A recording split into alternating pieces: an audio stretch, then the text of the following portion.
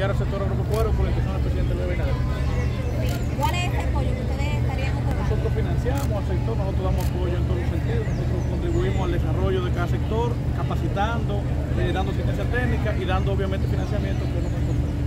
Emilio, ¿cuál es la experiencia que da esta feria? Esta ha sido la mejor feria y muestra el esfuerzo que está haciendo el presidente y el gobierno a favor del desarrollo agropecuario nacional.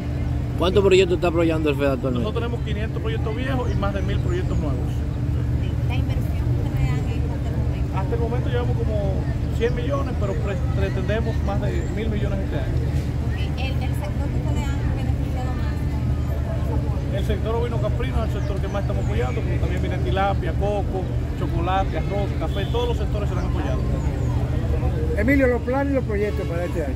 Bueno, eh, coco, tilapia, cacao, café son los principales proyectos, igual que ganadería de leche y de carne, que serán también apoyados por nosotros y estaremos eh, ir anunciando próximamente las diferentes actividades que vamos a hacer.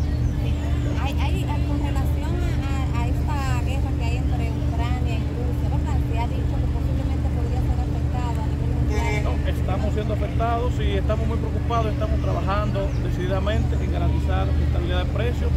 Gobierno está haciendo un gran esfuerzo, ustedes ven los dineros y nosotros por nuestro lado apoyando la producción nacional para que no haya eh, escasez en ningún momento, porque la escasez también eleva los precios. Muchas gracias. Muchas gracias. a ustedes. Gracias, Emilio. Sigamos.